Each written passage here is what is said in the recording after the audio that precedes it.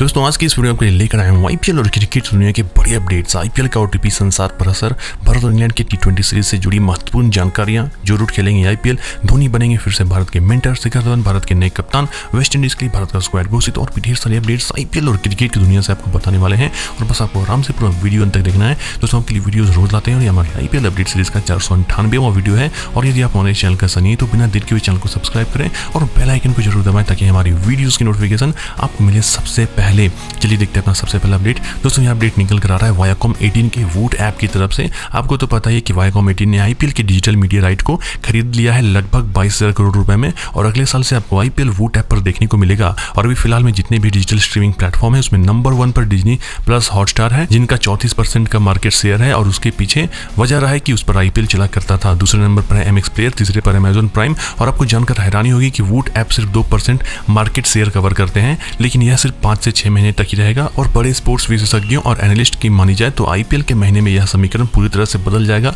और boot app जो दो परसेंट मार्केट से रिकवर किया हुआ है, वह लगभग बढ़कर 25 से 30 परसेंट पहुँच जाएगा। यह बिल्कुल उसी तरह से है, जिस तरह से जब रिलायंस जियो ने मार्केट में कदम रखा था, तब पहले ही से ही बड़े खिलाड़ियों का दबदबा था, लेकिन रिलायंस जियो के आते ही उसने सभी को पीछे छोड़ दिया और अभी आपको पता ही है कि रिलायंस जियो ने क्या किया है। चलिए देखते अपना दूसरा बड़ा अपडेट। दोस्तों, यह अपडेट निकल कर आ रहा है भारत और इंग्लैंड के बीच होने वाली टी मुकाबलों को लेकर। आपको बता दें कि भारतीय टीम पांचवा टेस्ट मुकाबला बहुत ही बुरी तरीके से इंग्लैंड से तो हारी गए हैं और अब भारत और इंग्लैंड के बीच तीन वनडे और तीन टी मुकाबलों का सीरीज़ चलने वाला है, जिसका शुरुआत सात जुलाई से होगा, जहाँ पर आपको बता दें कि पहला टी मुकाबला वह सात तारीख को साउथ के एजिस बॉल स्टेडियम में खेलेंगे। और समय की बात करें तो काफ़ी अनयूजल समय रहने वाला है, जहाँ पर आमतौर पर मुकाबले शाम को सात आठ बजे शुरू हुआ करते थे, लेकिन यह जो मुकाबला है वह रात के साढ़े दस बजे से शुरू होगा, यानी कि दस बजे टॉस होगा और साढ़े दस बजे से मुकाबला शुरू हो जाएगा। और ऐसे में बहुत सारे ऐसे लोग हैं जो लाइव इस मुकाबले का मज़ा नहीं ले पाएँगे।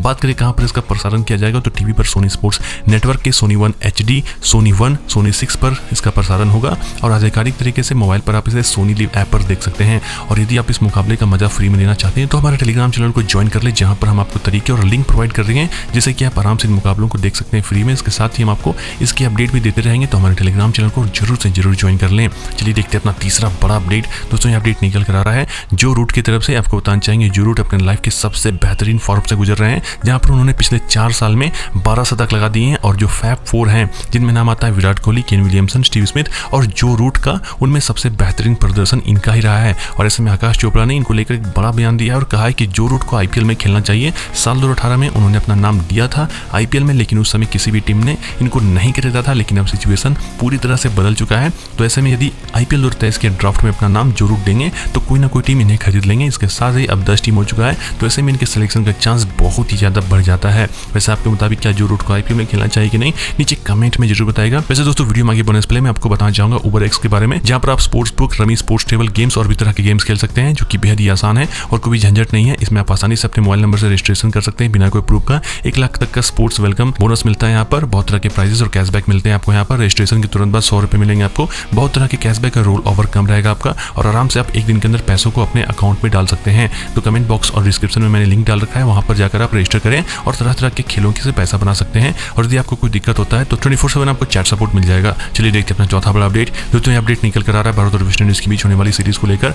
आपको बताना चाहेंगे, बहुत जल्द भारतीय टीम वेस्ट इंडीज का दौरा करने वाले हैं, जहाँ पर वेस्ट इंडीज की टीम के साथ भारतीय टीम तीन वनडे मुकाबले और पाँच टी मुकाबले खेलेंगे, जिसका शुरुआत बाईस जुलाई से हो जाएगा। और इसके लिए भारतीय टीम का सोलह सदस्य स्क्वाड घोषित कर दिया गया है। और सबसे हैरानी की बात है कि शिखर धवन को इस स्क्वाड का कप्तान बनाया गया है। इसमें विराट कोहली, रोहित शर्मा, के राहुल, जसप्रीत बुमराह और ऋषभ पंत को आराम दिया गया है। इसके साथ ही। रविंद्र जडेजा को वाइस कप्तान बनाया गया है। इसके पहले शिखर धवन श्रीलंका के टूर में पिछले साल कप्तानी कर चुके हैं। हार्दिक पांड्या भी इस स्क्वाड का हिस्सा नहीं बनाए गए हैं और कई सारे नए खिलाड़ियों को मौका मिलेगा जो आयरलैंड के साथ सीरीज़ खेले थे और आईपीएल में अच्छा प्रदर्शन किए थे। और यह जो स्क्वाड है कुछ इस तरीके से जो आप स्क्रीन पर देख सकते हैं और हमारे टेलीग्राम चैनल पर भी जाकर आप इस स्क्वाड की पूरी लिस्ट देख सकते हैं। चलिए देखते हैं अपना पांचवा बड़ा अपडेट दोस्तों, ये अपडेट निकल कर आ रहा है विराट कोहली की तरफ़ से। आपको बता दें कि विराट कोहली पिछले चार पाँच साल में अपने करियर के सबसे खराब दौर से गुजर रहे हैं। न ही उनका बल्ला टेस्ट क्रिकेट में चल रहा है, ना ही टी में और ना ही वनडे में। और ऐसे में लोग उनके फॉर्म पर सवाल उठाने लगे हैं और हाल ही में आईसीसी ने टेस्ट रैंकिंग घोषित किया था, जिसमें पहली बार छह साल में विराट कोहली टॉप टेन में नहीं है। इसमें ऋषभ पंत अच्छी पोजीशन पर है, इसके साथ ही नंबर वन पर जो रूट है, इसके साथ ही जोनी बेस्टो ने भी अपनी जगह बना ली है। इसके साथ ही विराट कोहली ने पिछले चार साल में एक भी शतक नहीं लगाया है तो वहीं पर दूसरी तरफ़ जो रूट ने बारह शतक लगा लिए हैं और ऊपर से विराट कोहली को बहुत सारी सीरीज़ से आराम दिया जा रहा है। वेस्ट इंडीज के दौरे में हमें, हमने आपको बताया कि उनको आराम दिया गया है और जैसे ही उन्हें आराम दिया गया, वह ट्रेंड करने लगे और लोग यह सवाल कर रहे हैं कि आखिर जब वह फॉर्म में नहीं है तो क्या आराम देने से उनका फॉर्म वापस आ जाएगा। आप अपनी राय हमें नीचे कमेंट में ज़रूर बताइएगा। चलिए देखते हैं अपना छठा बड़ा अपडेट दोस्तों अपडेट निकल कर आ रहा है कैरेबियन प्रीमियर लीग की तरफ़ से। आपको बता दें कि कैरेबियन प्रीमियर लीग हर साल होता है आईपीएल के जैसा ही, और इसका जो शेड्यूल है वह रिलीज़ कर दिया गया है। और इस बार का खासियत है कि हमें विमेन का भी कैरेबियन प्रीमियर लीग देखने को मिलेगा। हालाँकि विमेन के लिए सिर्फ़ ग्यारह मुकाबले ही होंगे, और अगले साल से इसे बढ़ा दिया जाएगा। मेन कैरेबियन प्रीमियर लीग इक्कीस अगस्त को शुरू होगा, जबकि विमेन कैरेबियन प्रीमियर लीग का एक सितंबर से एक दिन के बाद शुरुआत होगा। और उसका पूरा शेड्यूल आप स्क्रीन पर भी देख सकते हैं। साथ ही हमारे टेलीग्राम चैनल पर भी आप जाकर देख सकते हैं। तो ऐसे में आप उम्मीद कर सकते हैं कि आईपीएल का भी जो विमेन वर्जन है वह भी अगले साल से हमें देखने को मिल सकता है। चलिए देखते हैं अपना सातवां बड़ा अपडेट दोस्तों ये अपडेट निकल कर आ रहा है न्यूजीलैंड क्रिकेट बोर्ड की तरफ़ से। आपको बताना चाहेंगे न्यूजीलैंड क्रिकेट बोर्ड ने एक ऐसा कदम उठाया है जिसे आने वाले दिनों में काफ़ी सारे बोर्ड कॉपी करना चाहेंगे, जहाँ पर आपको बता दें न्यूजीलैंड क्रिकेट बोर्ड ने यह घोषणा कर दिया है कि मेन खिलाड़ियों और वुमेन खिलाड़ियों को बराबर सैलरी वह देंगे। दोनों में किसी भी तरह का कोई भेदभाव नहीं रहने वाला है, और उन्होंने सैलरी लिस्ट भी परसों घोषित कर दिया था, जिसमें दोनों का सैलरी बिल्कुल ही बराबर था। तो यह एक बड़ा स्टेप है, और स्पोर्ट्स में जो भेदभाव होता है, महिला और पुरुष को लेकर उस गैप को खत्म करने का कोशिश किया गया है। वैसे आप हमें नीचे कमेंट करके बताएँ कि आपके मुताबिक क्या भारत में ऐसा हो सकता है? क्योंकि यहाँ पर जितना पॉपुलर मेन क्रिकेट है, उतना पॉपुलर वुमेन क्रिकेट नहीं है तो सैलरी बराबर होने का चांस थोड़ा सा कम है। चलिए देखते हैं आठवां बड़ा अपडेट दोस्तों, ये अपडेट निकल कर आ रहा है महेंद्र सिंह धोनी की तरफ़ से, और यह जुड़ा हुआ है टी ट्वेंटी वर्ल्ड कप से, जहाँ पर आपको बता दें कि सात जुलाई को महेंद्र सिंह धोनी का बर्थडे आता है, और वह अपना इकतालीसवां बर्थडे लंदन में मनाने वाले हैं। और महेंद्र सिंह धोनी को लेकर एक बड़ी खबर आ रही है, जहाँ पर सूत्रों की मानी जाए तो महेंद्र सिंह धोनी को फिर से भारतीय टीम का मेंटर बनाया जाएगा टी वर्ल्ड कप के लिए। बीसीसीआई के एक सूत्र कहना है कि पिछले साल भली धोनी के रहने से कोई खास प्रभाव नहीं पड़ा था, लेकिन महेंद्र सिंह धोनी से बेहतर और कोई नहीं जानता कि किस तरीके से टी वर्ल्ड कप के प्रेशर को हैंडल किया जाता है और वह भारत को वर्ल्ड कप दिलवा चुके हैं। तो ऐसे में उनका टीम के साथ रहना और उनकी मौजूदगी ही टीम के मॉरल को और ऊपर करके ले जाएगा। तो वैसे में बहुत ही ज़्यादा चांस है कि महेंद्र सिंह धोनी फिर से हमें टी वर्ल्ड कप में भारतीय टीम के मेंटर बनते हुए रहेंगे। तो इस अपडेट के लिए वीडियो को लाइक ज़रूर कीजिएगा। तो दोस्तों, यहाँ आज के आईपीएल और क्रिकेट से जुड़े हुए बड़े इंपॉर्टेंट अपडेट्स इस तरह के अपडेट्स हम आपको अपने टेलीग्राम चैनल पर भी देते हैं। तो हमारे टेलीग्राम चैनल को डिस्क्रिप्शन में दी गई लिंक से ज्वाइन करना ना बोलें मिलते हैं अपने अगले इंटरेस्टिंग वीडियो में। तब तक के लिए धन्यवाद।